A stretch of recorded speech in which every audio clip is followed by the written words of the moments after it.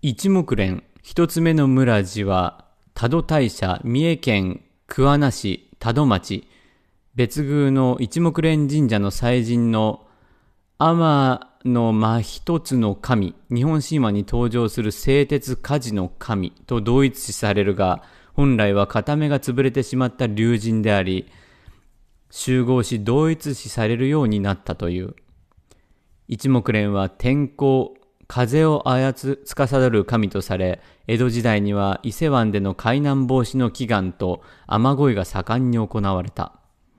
民族学者柳田国夫は伊勢湾を航行する船乗りが多度山の様子から天候の変化を予測したことから生まれた信仰と考察しているが、